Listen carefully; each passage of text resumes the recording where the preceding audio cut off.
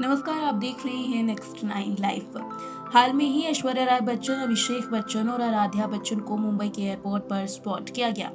इसके बाद लगातार सोशल मीडिया पर आराध्या बच्चन और बच्चन परिवार के संस्कारों का ज़िक्र हो रहा है। दरअसल तीनों को एक साथ जब स्पॉट किया गया तो फैंस के साथ साथ पेपराजीज की भी लाइन लग गई। अक्सर ये देखा जाता रहा है कि ऐश्वर्या राय बच्चन को अपने साथ आराध्या बच्चन के लाने पर ट्रोल किया जाता है। कभी बालों को लेकर के तो कभी कहा जाता है कि ऐश्वर्या राय अपने बेटे को क्या स्कूल नहीं भेजती।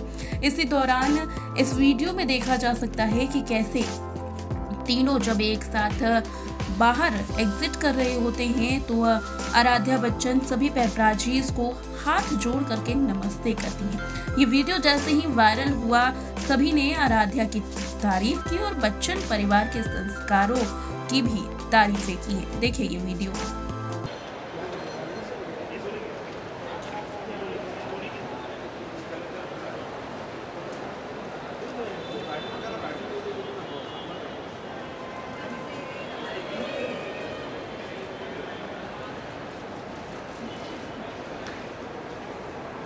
वहाँ चल वहाँ चल वहाँ चल पूरा टर्न हो ना पूरा, अरे पूरा टर्न हो ना पूरा टर्न हो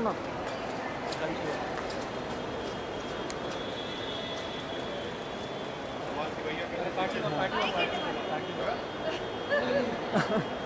thank you ma'am thank you sir God bless. Take care. You too thank you thank you sir